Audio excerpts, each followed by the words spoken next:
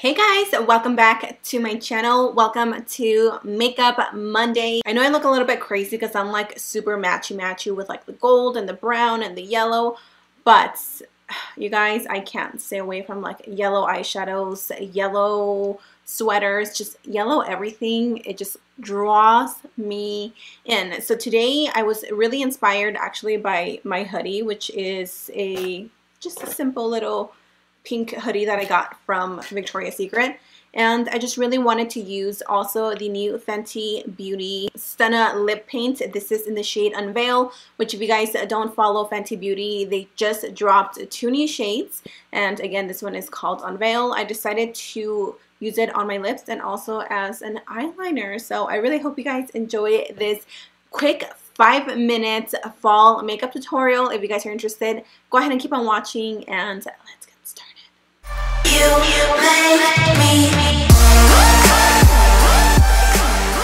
first things first, I already primed my lids, okay? I'm taking the matte palette by Karity and I'm taking the shade Tweety. Guys, this look is literally so simple and it's just five minutes. It doesn't take long. What I did is I just took a flat brush and I packed on the yellow Went back a few times to intensify it. Then I just picked up a more detailed brush and started blending. Then I went in with this shadow because I wanted there to be some sort of contrast to the eyes. I didn't I didn't want them to be so flat and matte. So I took this eyeshadow by Makeup Geek. I don't remember the name. I think it's called Lemon or something. I will leave it down below. But I went back and I made sure that I blended out all the edges so I didn't have any harsh lines. Once you've blended everything, literally that is it. That is the end of your eye look. What I did next is I took this Stunna lip paint by Fenty Beauty, which if you guys don't know, that is the line of Rihanna. She did just drop some new liquid lipsticks. This is one of the like first shades that they unveiled, which is called Unveil.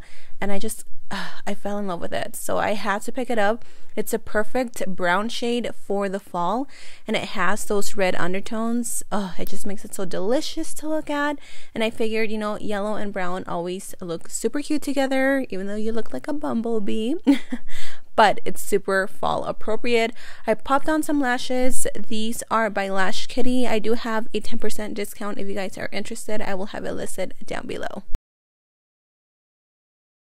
To open up the eyes, I took this Awake eyeliner, and it's just a creamy eyeliner with a little bit of a white undertone, and this is literally going to awaken your eyes.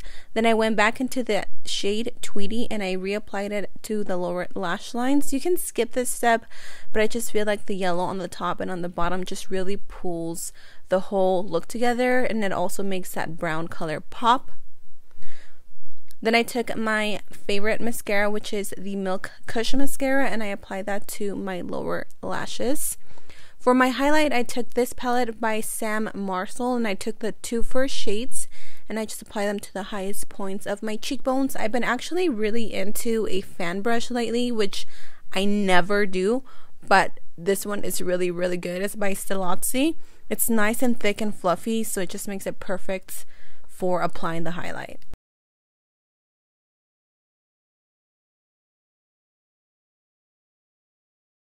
And for my lips, I am once again tiny, taking the Stunna lip paint in Unveil and applying that to my lips. And that is everything. I know that I didn't show the rest of my face, but I will be doing more full face tutorials on my next videos. And you want to set everything in place. This is the Milani Set and Forget setting spray. Really, really good one. And if you want your highlight to be intense, go back with your beauty blender and just press on your skin so the highlight looks like wet skin instead of just powder highlight. Anyways, thank you guys so much for joining me in today's video. I hope you guys enjoy it. I love you so much. Don't forget to subscribe and I will see you in the next one. Mwah. Bye.